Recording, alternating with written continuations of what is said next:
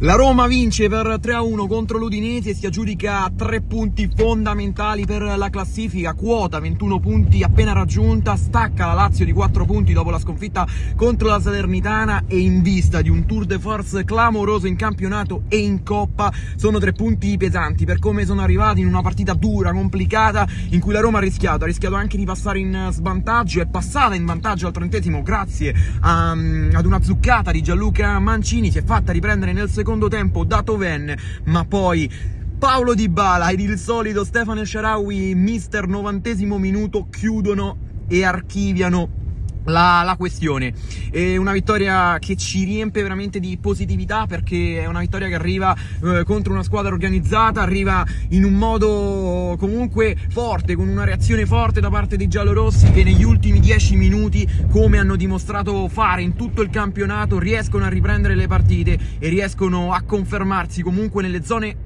alte della classifica. Andiamo a vedere le pagelle. Rui Patrizio non una grandissima partita. Eh, rimango sempre dell'idea che possa fare di più, specialmente in alcune occasioni, anche in occasione del gol. Qualcosina in più me la sarei aspettata, diciamo un 5-5 più. Eh, in difesa Llorente, bravissimo, il solito Llorente che spicca nel trittico di difensori, 7 per lui, Indica e Mancini invece eh, per Indica una sufficienza, anche per Mancini sarebbe una sufficienza, però il gol comunque mh, mm, è un plus per la sua prestazione, quindi 6 e mezzo mezzo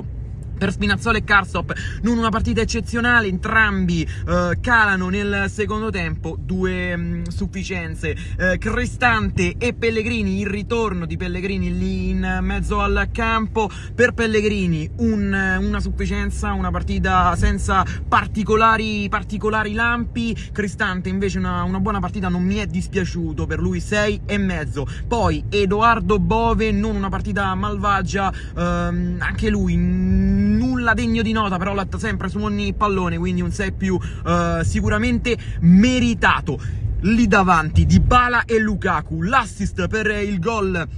decisivo del, um, per il secondo gol decisivo e il, l'autore del gol Paolo Di Bala per Lukaku un 6,5 perché alla fine anche se non ci ha messo il gol uh, lo zampino sul risultato ce l'ho messo e per Paolo Di Bala che nonostante tutto anche un periodo di forma forse non all'altezza quello del derby quello dell'ultimo mese però arriva una risposta importante un inserimento che regala sostanzialmente i tre punti. E poi menzione d'onore possiamo dire la classica menzione d'onore per Stefano El Sharawi Sharawi che al novantesimo mette il suo zampino, così come con la nazionale, così come ha sempre abituato i tifosi giallorossi dalla panchina, è una risorsa fondamentale.